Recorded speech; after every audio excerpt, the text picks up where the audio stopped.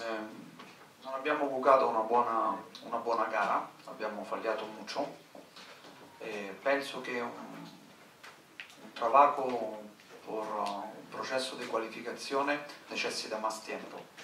Questo equipo trabaja juntos da demasiado poco tempo e le giovani non sono liste per giocare a questo livello e quindi questa partita è la conseguenza di un trabajo che non tiene una buona pianificazione.